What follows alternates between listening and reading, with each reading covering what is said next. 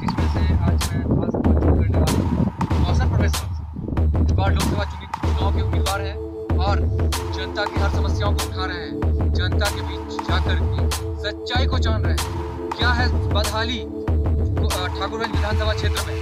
हालाँकि सामने इलेक्शन लोकसभा चुनाव का है, पर क्या बदहाली से जुड़े लोग कैसे गुजारा करते हैं? मौसम प्रोफेसर बताएँगे क्या खास एजेंडा है, क्या आगे का रोल होगा, वो क्या होगा, चलिए जानने की कोशिश करता हूँ। की और, हमेशा जनता को मौका देने का काम कर रहा नेता आप हालाँकि अभी एग्रीकल्चर कॉलेज में ने इन्वाइट किया अब मैं जो जनता गाँव में खड़े हैं देशी नदी के ऊपर।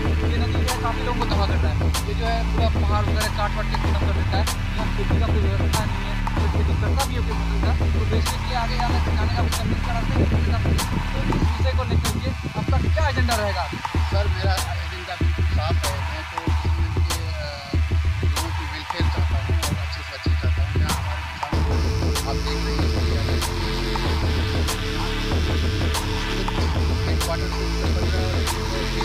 का रास्ता है। अदरवाइज़ छः लाख आबादी जो है।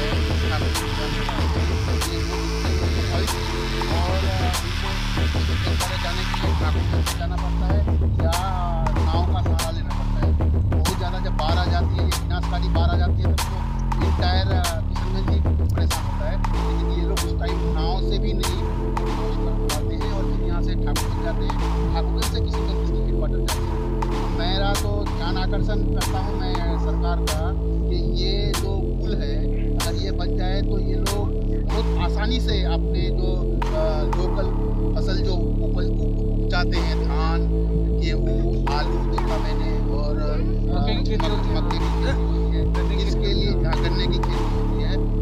बार जब बाढ़ आ जाती है तो किसान हमारे कहीं के नहीं रहते हैं। वो दह जाता है गाँव में और दहने के से उनको कोई और कौन देगा मुआवजा ही नहीं देता है। तो ये मेरी किसानों से बात हुई यहाँ लोकल। तो ये लोग कहते हैं कि सर हम इनको प्रीमियम देने के लिए तैयार हैं। ये बिहार गवर्नमेंट एक पॉलिसी बनाए या सेंट्रल गवर्नमेंट को भेजे अपना प्रपोजल।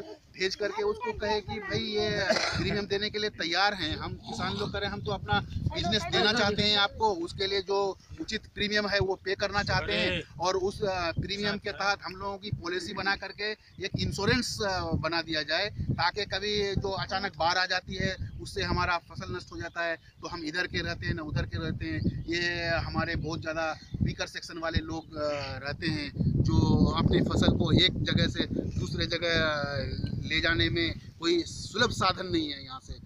पेरेसेबल आइटम्स होते हैं ये, जैसे टमाटर वगैरह है, वो वो भी उगता है सीज़न में। प्याज होता है, लहसुन होता है, ये यहाँ की लोकल फ़सल है।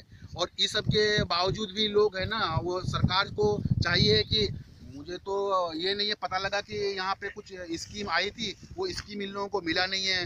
रिहेबिलेशन का पिछले जो बारह आठ दो हज़ार सत्रह को बाढ़ आया था उसका। तो इस तरह की जो अनियमितताएँ की गई है तो उसको ठीक किया जाए। मैं तो यही कहूँगा और आने वाले दिनों में मैं इन लोगों से बातचीत करके और यहाँ लोकल इशूज हैं, उस पर बात कर रहा हूँ और पूछूँगा सारी जो है इंक्वायरी करके कि क्या है। यहाँ से सिर्फ़ चार किलोमीटर इधर ये लेलिया चौक है और सरायपुरी और एक अपना सरायपुरी और ये गाँव है, भौलमरा। भौलमरा गाँव सिर्फ़ नदी पार करना है। लेकिन देखिए अभी ये नदी में पानी इतना है कि मुझे 10 मिनट यहाँ से उस पार जाने में लग सकता है। लेकिन ये पुल ना होने की वजह से मुझे ये 50 किलोमीटर घूम करके ठाकुरगंज के तर वाले रोड से जा करके उधर कौवा खाली और उधर जाना जा, जाना पड़ेगा उधर से। तो इस तरह की ये परेशानियाँ हैं ये हमारे जो ये अराकीन है इन लोगों का। तो इसके लिए हम लोकसभा में तो उठाएँगे जब उठाएँगे सवाल लेकिन अभी फ़िलहाल सरकार को चा, चाहिए कि ये इन लोगों की जो समस्याएँ हैं इन समस्याओं का समाधान करे। इस समाधान के लिए मैं इनका वो करता हूँ और आपका कोई अ, सवाल है तो बहुत बहुत थैंक यू सर चलिए जनता से जानेंगे। क्या ऐसे नेता आपको आप लोग मानेंगे ऐसे नेता को?